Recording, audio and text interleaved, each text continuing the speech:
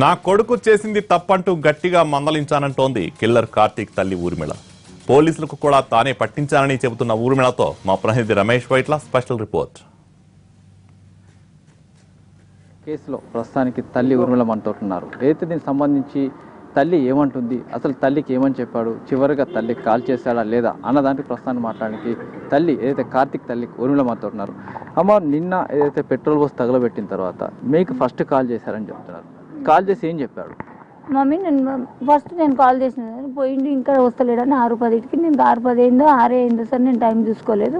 Call చేసిన ఎక్కడ ఉన్నాను అంటే ఏం లేదు మమ్మీ మాట్లాడేసి వస్తున్నాను మళ్ళీ జస్ట్ నేను నా ఇక్కడ నుండి అక్కడ కూడా నడవలేదు. మమ్మీ పెట్రోల్ పోసి తలగబెట్టినాను నువ్వు ఏడున్నావు అన్న. అంటే నేను మౌలాలి స్టేషన్లో ఉన్నానంటే నా మనమడు ఉంటాడు సార్ నా దగ్గర. అప్లికాన్ వేసుకొని నేను ఎక్కడ తిరుగుతాను? అదే వాళ్ళ మమ్మీ దగ్గరికి పోయి బిగ్ బజార్కి బాబును వదిలిపెట్టేసి డైరెక్ట్ ఆడికని మళ్ళీ మౌలాలి స్టేషన్ పోయినా. మౌలాలే లేడు. ప్రశాంత్ నగర్లో ఉన్నా అంటే ప్రశాంత్ నగర్ పోయి తీసుకొచ్చి పిఎస్లో నేనే అప్పచెప్పాను సార్ రాత్రి. వాడు చేసింది తప్పే నేను తప్పంటలేను ఆ అమ్మాయిది ఎంతవరకు కరెక్ట్? నువ్వు ఆఫీసర్లో కాకుండా నువ్వు ఇంట్లో చెప్పేది ఉంటుంది ఇప్పుడు ఒక ఆడపిల్ల ఇంటి మీదకి నేను పోతే గొడవనే అవుతుంది కదా సార్ అది. నేను ఇప్పుడు పది మందిని తీసుకొని పోతాను నా కొడుకు పడబడుతున్నామని నా కొడుకే నాకు చక్కగా లేడాడ? నేను ఎవరి ఇంటి మీదకి ఎందుకు పోతున్నాను ఇప్పుడు మీ ఇంట్లో తెలియదా? వాళ్ళ బావ చూసిండని నాలుగు నెలల క్రితం గొడవ పెట్టుకొని ఎన్ని రోజులు బండి ఎక్కలే అమ్మాయి. సరే మీ బావ చూసిండుగా వదిలేని ఈ అబ్బాయి కూడా గమ్ము నూకుండు బావ చూసినట్టు తిడతాను నేను. ఆడపిల్ల కదా ఎట్లా బండి ఎక్కువ నా కొడుకుని తిట్టుకున్నా సైలెంట్ అయిపోయింది మళ్ళీ నాలుగైదు రోజులకే మళ్ళీ ఫోన్ చేస్తుంది. రా ఎక్కిపోదు రాపోదాం రాపోదాం. ఫోన్ కొనిచ్చిండు పోయినసారి దసరాకు చీర కొనిచ్చిండు బట్టలు కొనిచ్చిండు.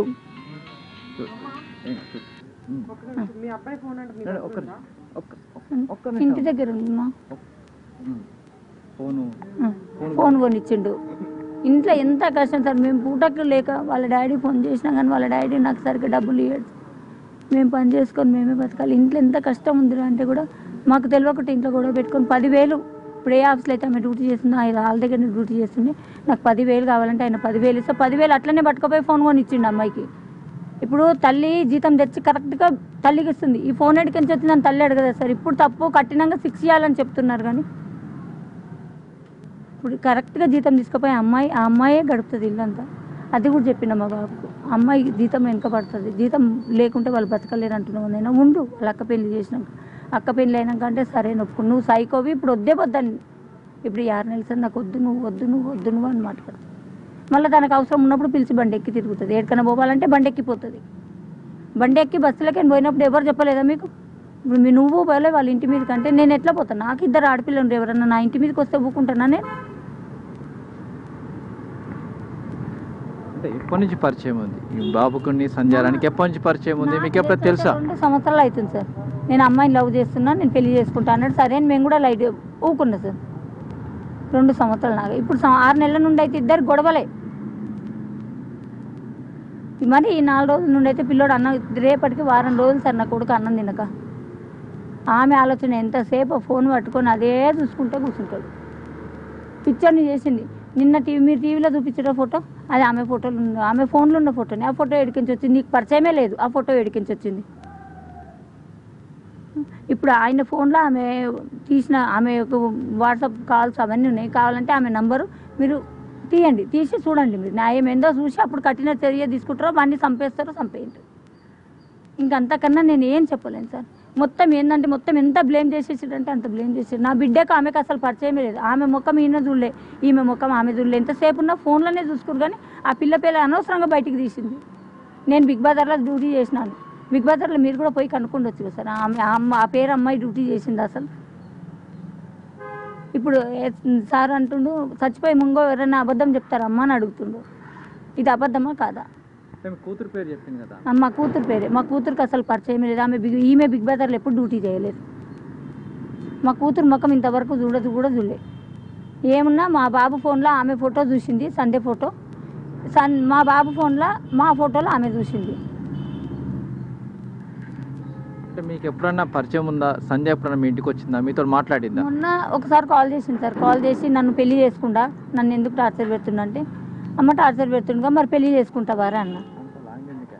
పెళ్ళి చేసుకుంటాం అంటే నేను చేసుకున్నాను. చేసుకున్నప్పుడు వదిలేయమ్మా మళ్ళీ ఫోన్ చేసి మన బండి ఎక్కి ఎందుకు పోతావు అని అన్నాను నేను. తప్పైతే కాదు కదా సార్ చేసుకున్నాను. వాడిని వాడికి ఫోన్ చేస్తావు ఎందుకు? వాడిని బండి ఎక్కుతావు ఎందుకు? నా కొడుకు నేను నచ్చ చెప్పుకుంటామా? నువ్వు వీడికే సైలెంట్ కూకుంటే నాలుగు రోజులు ఊకుంటారు మళ్ళీ ఫోన్ చేసింది. మళ్ళీ ఎందుకు ఫోన్ చేస్తున్నారు అంటే దాని కాళ్ళు గుంజుతున్నాయంట మమ్మీ. శాంతినగర్ లాలాపేట ఎంత దూరం ఉంది నాయన కాళ్ళు గుంజనికి? మరి నేను ఉన్న ఊరంతా తిరుగుతామని నా కాళ్ళు గుంజయ నేను చేసుకుంటా మమ్మీ దాన్ని నేను వేరే పెళ్ళి చేసుకుని ఇద్దరు ఏడికి కోటికి షాప్కి పోవాలన్నా ఈ అబ్బాయి తీసుకుపోవాలి. ఆమె కాళ్ళకి వేసుకున్న చెప్పులు కూడా నా కొడుకు కొనిచ్చినాయి సార్. చెప్పులు కావాలన్నా స్కార్ఫ్ కావాలన్నా డ్రెస్సులు కావాలన్నా అన్నిటికీ షాపింగ్కి వీడే తీసుకుపోతాడు.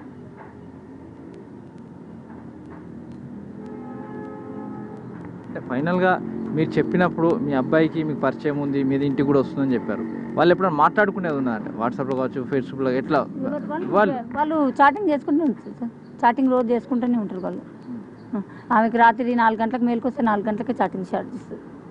ఆమె పొద్దున్న దాకైనా ఆఫీస్లో ఎవరు లేకపోతే చాటింగ్ చేస్తుంది. వీడియో కాల్ మాట్లాడుకుంటారు మధ్యాహ్నం పూట. మధ్యాహ్నం ఎవరు ఉండరు ఆఫీస్లో వీడియో కాల్ మాట్లాడుకుంటారు.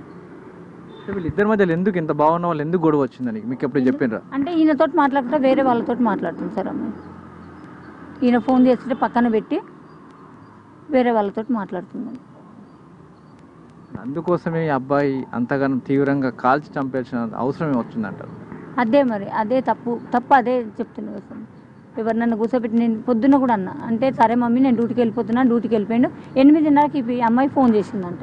నీ వస్తువులన్నీ ఇప్పించిన అని చెప్పినావంటగా నువ్వు? ఆయన వల్ల సార్ ఉండగా సార్కు చెప్పిండు. సార్ మేము మరి ఇవన్నీ కొనిచ్చిండ్రు ఇవన్నీ కొ- మరి ఇవన్నీ ఇష్టం లేని ఇవన్నీ ఎందుకు తీసుకుందని మేము అడిగినాం సార్. అడిగితే ఇవన్నీ కొనిచ్చిండంట కదమ్మా నీకనంటే. అవన్నీ ఇది కొనిచ్చిన అని చెప్పినావు కదా నువ్వు వాళ్ళకు? నువ్వు అవన్నీ కొనిచ్చిన అని చెప్పినావు కదా నీ వస్తువులన్నీ ఏడికి తెచ్చేయాలి. మీ ఇంటికి తెచ్చేయాలనా? లేకపోతే నువ్వు వస్తావా? నువ్వు ఏడికి రమ్మంటే ఆడికి వస్తా తీసుకొని. వాళ్ళందరిని తీసుకొని ఆడికి వస్తా అన్నదంట. ఇంటికి వచ్చేసి డ్యూటీ చేయకుండా.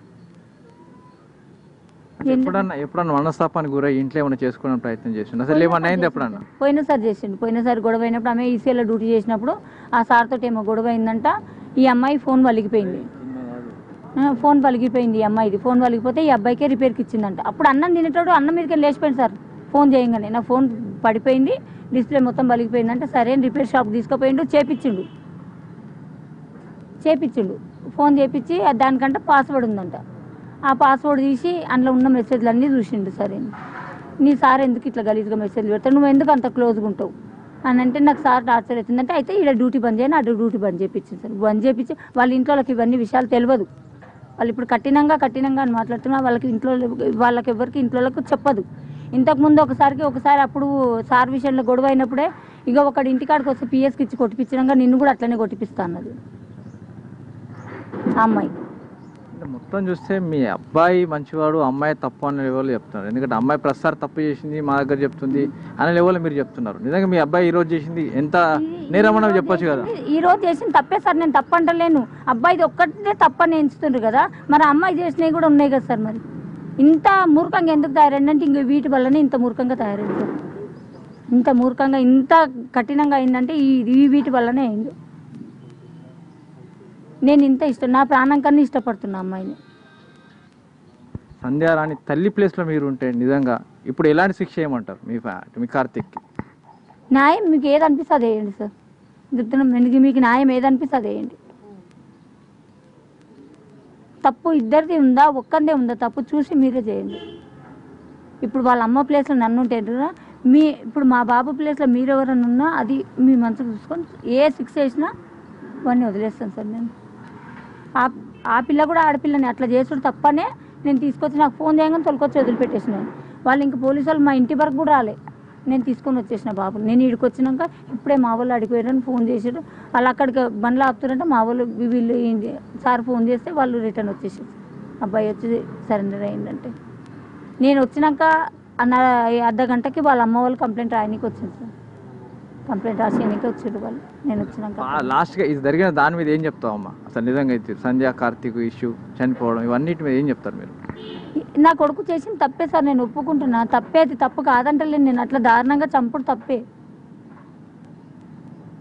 వాళ్ళ ఇంట్లో కన్నా చెప్పేది ఉండే లేకపోతే గమ్మున్న ఊకునేది ఉండే పోనీ అని ఊకునేది ఉండే.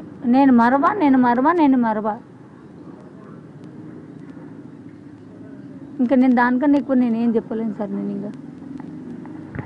కార్తీక్ తల్లి ఉర్మిళ ప్రసమ్మతో మాట్లాడడం జరిగింది. తన త- తన కుమారుడు చేసింది పూర్తిగా తప్పే. అంతేకాకుండా తన కుమారుడికి ఎలాంటి శిక్ష వేసినా కూడా సభవే అయితే ఒక మహిళ పట్ల ఏంటో సంధ్యారాణి అంటే నాకు కూడా అభిమానం ఉంది. సంధ్య అంటే నాకు కూడా ప్రేమ ఉంది. అయితే ఇలా చేయాల్సి చేసి ఉండాల్సింది కాదు కార్తీక్.